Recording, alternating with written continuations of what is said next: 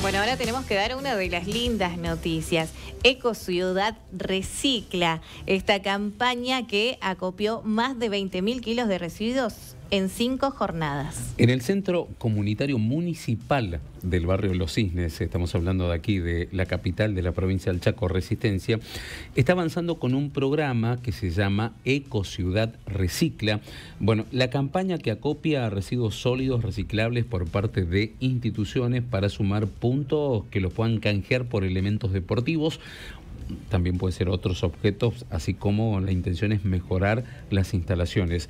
El subsecretario municipal de Ambiente, Pablo Alegre, había comentado que se lleva acopiado 20.000 kilos de residuos reciclables gracias al aporte de la gente, bueno, que es lo que se busca, ¿no? Además de potenciar los valores ecológicos, fomentar la solidaridad, la ayuda mutua y el compromiso común.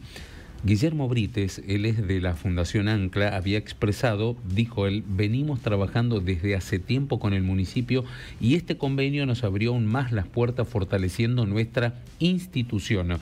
Para el acopio se reciben cuatro tipos de materiales. Atención, plásticos PET, aluminio, cartón, vidrio, teniendo como destinatarias instituciones, organizaciones educativas y deportivas. Indudablemente que fue uno de los grandes aciertos. Eh, Eco Ciudad Recicla, ya que ha acopiado más de 20.000 kilos de residuos sólidos en nada más que en cinco jornadas.